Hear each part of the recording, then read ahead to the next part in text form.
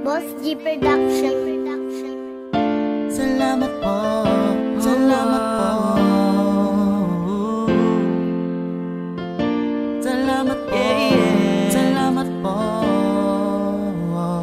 Walang katulad ang kadakilaan mo Panginoon. Salamat sa mga tugon, sa mga dalangin at daing. Sa tuwing sasapit ang mga panahong wala kong malapitan Makasama, makapitan. Na para bang ako'y sinakluban ng lupa at kalangitan. Aking ama patawad sa mga kasalanan. Binago nyo ang dating magulo at marahas kong pinagdaanan. Alam ko namang ako'y naging alibughang kawal. Tumalikod sa mga utos nyo't ginawa ko ang mga bawal. Kahit alam ko namang ito'y taliwas sa mga nais nyo. Di nyo pinabayaan, ginabayan upang maalis ako sa aking sariling Si Satanas ang naghari. Binalot ng kasamaan ng pagkatao ko't ugali. Ngunit inyong binali ang sungay ko't makapangil Sa tulong ng makapangyarihan mong salita marahil Ngay dakila kang ama na nilokob ng kabanalan. Panginoon salamat sambahin ang iyong ngalan. makasalanan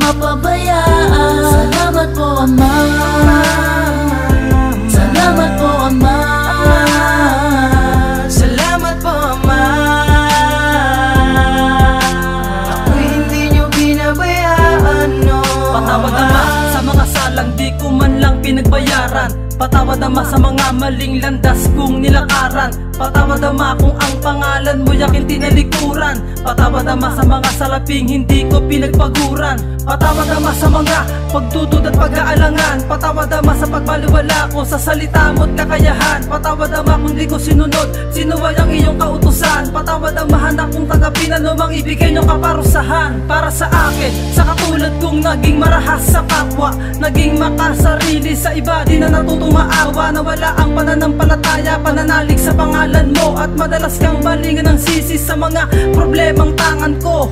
Pero binago mo ng dahan-dahan At doon ko lang nalaman ang tunay na kahalagahan Ng buhay na may pag-ibig at may tapat sa Panginoon. Ika'y aking tagapagligtas sa lahat ng oras. Sa pagkakataon